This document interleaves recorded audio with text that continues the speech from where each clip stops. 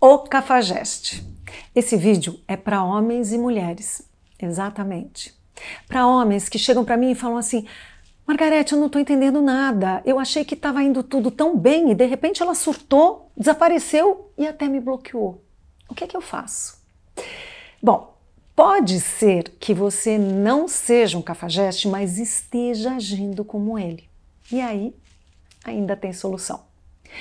E você, mulher, que encontrou o cafajeste e agora você está muito chateada com você mesmo por ter caído na dele.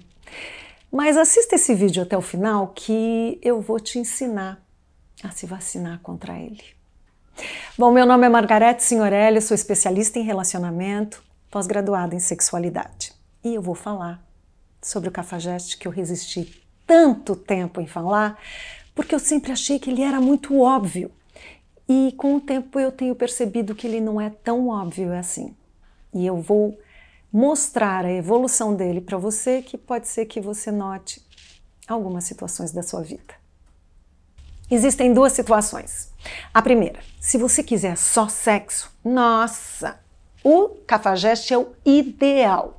Por quê? Porque ele é muito sedutor e ele faz você se sentir sexy, feminina, desejada, perfeito. Mas aqui vai uma orientação minha. Pelo fato de como os nossos hormônios funcionam no nosso corpo e principalmente no nosso cérebro, que eu explico em muitos outros dos meus vídeos, o sapo pode se tornar príncipe. A probabilidade dele se tornar príncipe é enorme. Então, cuidado. Cuidado. Cuidado. Agora vamos para a segunda situação, onde você quer um relacionamento. E vocês se conheceram por um aplicativo, ou alguém apresentou, ou mesmo vocês já se conheciam anteriormente. Vocês vão sair. E como eu sempre oriento, de uma certa forma, nos primeiros encontros, ou mesmo no primeiro encontro, se tiver uma conversa assim, você diz que você quer um relacionamento, o que não tem nada demais. Então lembra que eu disse que o homem, porque eu vou dizer homem e vou dizer o outro, o cafajeste, porque é um caso à parte. Lembra que eu disse que o homem não mente? Realmente ele não mente. Numa situação como essa, que você diz, ah, eu quero um relacionamento, ele diz, sabe que não, eu estou num momento da minha vida que eu realmente quero ter liberdade, namorei muito tempo, eu quero ficar um tempo sozinho, fazendo as minhas coisas. Só que o cafajeste mente. Quando ele vê que você sabe o que quer, ele vai, ah, sei lá, começa a falar, não sei, mas ele vê que não vai rolar, porque você realmente sabe o que quer. Então aí ele começa a falar, então, sabe o que eu tenho pensado? Eu estou procurando a mulher certa para mim, mas isso leva um certo tempo. E ele continua investindo na sedução. E você começa a pensar: puxa, eu já disse o que eu queria, né? Disse que eu quero um relacionamento. Se ele continua aqui, é porque ele quer também errado. Ele não quer. Mas ele está ali te seduzindo e você está carente. E aí vocês vão para cama. E daqui para frente eu vou continuar se existe a química. Por quê? Se não existe química, é muito mais fácil se desvencilhar dele. Mas se existir a química, é um pouquinho mais complicado.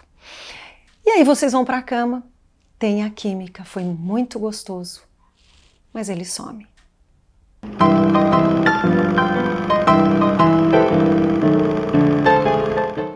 15 dias depois, ele surge como se nada tivesse acontecido e te convida para jantar, para sair. Geralmente é para jantar. E aí você já está chateada por 15 dias desaparecido. E aí você fala: Não, peraí, eu aprendi que eu tenho que dizer realmente o que eu quero. E você diz claramente: Olha, é o seguinte, eu não quero um relacionamento a cada 15 dias, eu quero ter um relacionamento com uma pessoa que me procure, que dê continuidade.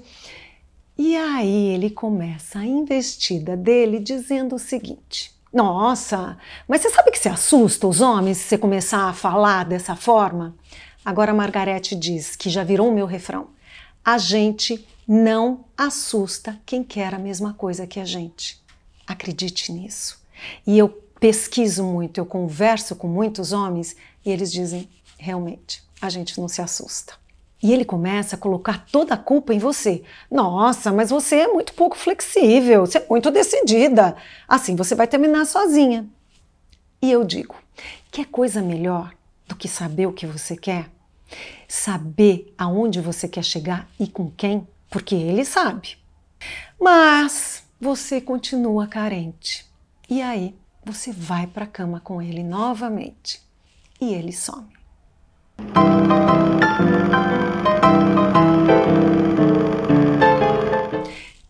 Quinze dias depois, ele reaparece das cinzas e começa a conversar com você, dizendo: Ah, mas as coisas não são desse jeito, porque você vai se colocar novamente. Escuta, o que, que você está querendo comigo? Eu já não te disse claramente que eu não quero esse tipo de relacionamento, por que, que você está me procurando? E aí ele fala: Não, mas essas coisas não são assim, tem que ter uma evolução. Entenda, não pode ser desse jeito. A gente tem tanta coisa em comum, é tão gostoso estar com você. Na verdade, eu quero até viajar com você para te conhecer melhor. As coisas são assim. Viajar junto não é necessário para se conhecer melhor. É simplesmente uma consequência de um relacionamento. Mas não é, a gente não está falando de casamento aqui. Você não está falando em se casar, você está falando em se relacionar. As coisas, a evolução é de você se sentir pertencer, é de você sentir que faz parte da vida dele e ele da sua. Não tem nada de errado com o que você está sentindo.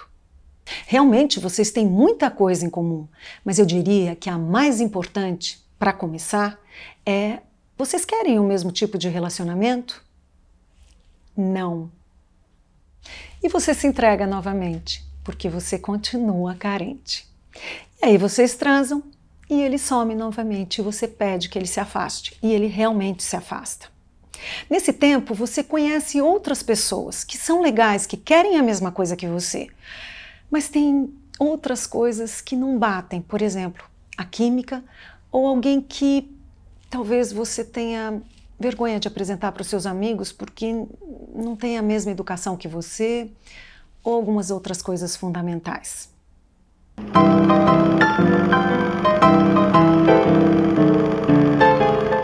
Seis meses depois, ele reaparece. Mas aí ele faz um pouco diferente. Ele te convida para almoçar, para não parecer que ele quer jantar e já quer sexo. Mas aqui ele mente mesmo. Nossa, agora eu mudei. Agora eu quero um relacionamento, sabe? Eu amadureci, já tive o meu tempo sozinho e agora eu vejo os meus amigos que estão tendo relacionamentos, eu estou até gostando. E eu gostaria até de viajar com você para a gente se conhecer melhor. Nossa, é tudo o que você queria. E aí ele te convida para jantar. Ele quer até cozinhar para você. E por que não? Ali tem tudo o que você queria. Um relacionamento, alguém que quer te conhecer. Essa história da viagem é um pouco para boi dormir, mas ele falou que ele quer mudar. Ele falou que ele mudou e que ele quer um relacionamento. E você acreditou. Você cede novamente, vocês vão para a cama e é maravilhoso. Só que depois nada combinado e não se fala mais no assunto. E eu te digo, o homem, ele é caçador. O homem, lembra? O homem, ele é caçador, ele não quer te perder. Se ele quiser dar continuidade, ele vai falar: Nossa, quando é que eu te vejo novamente? Você tem algum programa para hoje? Uh, eu falei em viajar, quando é que a gente pode viajar? Vamos fazer planos? Esse é o homem. Ele não fala nada, simplesmente vai embora. O homem, a conversa dele é como você tá bonita, como você tá cheirosa, mas ele também quer saber sobre você. Quer saber sobre os seus filhos, se é que você os tem, quer saber o que você pensa de alguns assuntos, porque ele está interessado em você. Como ele disse, ele quer te conhecer. O outro, ele não pergunta muito sobre você, ele fala que você tá bonita, que você não mudou, que o seu cheiro é delicioso, mas ele não quer perguntar sobre você, sabe por quê? Porque ele não quer saber a conversa realmente muda, mas é sempre falando mais sobre ele, sobre o que ele pensa, o que ele gosta, o que ele sabe fazer. Com o homem, você pode no começo ter uma pequena dúvida se é o que ele quer, mas com o tempo você vai tendo certeza que ele quer um relacionamento com você. Com o outro, você no começo tem uma pequena dúvida e depois você tem a certeza que ele não quer nada com você. Agora esse recado é para você. Se você está chateada com o que aconteceu, não fique, porque você caiu na dele porque você é verdadeira com seus sentimentos e você diz aquilo que você quer viver verdadeiramente e não tem nada de humilhante nisso. Mas para conseguir superá-lo, existe um segredo. O segredo é se conhecer e se gostar. A gente não pode gostar daquilo que a gente não conhece profundamente. Então, conheça-se profundamente e se ame, porque só assim você vai entender que ninguém tem o direito de te machucar e brincar com seus sentimentos. Ele pode até ter te machucado, mas quando você se gostar, você não vai deixar nunca mais que isso aconteça. Mas mulher cafajeste também existe. Não seja uma delas. Se alguém legal está te procurando e você não quer nada com ele, diga, seja honesta, seja sincera e verdadeira. Olha, você é um cara legal e realmente não deu uma conexão entre a gente. Então eu acho que é melhor a gente parar por aqui e você encontrar alguém que também seja legal com você. E eu gosto de contar a história que eu já contei num vídeo meu anterior de uma pessoa que eu conheço pessoalmente e um dia ele saiu com uma amiga minha. Eles já se conheciam anteriormente, os dois tinham se separado e resolveram jantar juntos. Ele não sentiu que tinha uma conexão e ele ficou pensando: puxa, ela é uma mulher tão legal, né? O que, que ele fez? Ele ligou para ela e disse o seguinte: Olha, você é uma mulher maravilhosa e você tem direito de ser feliz. E eu tenho certeza que um dia você vai encontrar alguém que te valorize e que te mereça. Bom, ela encontrou. E eu não preciso dizer que todas as mulheres queriam sair com ele. Por quê? Porque ele era um homem muito legal.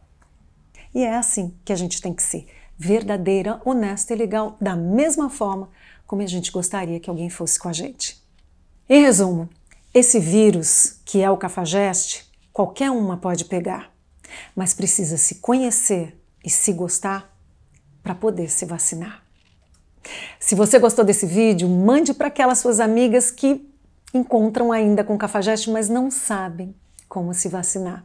E aqui elas vão aprender.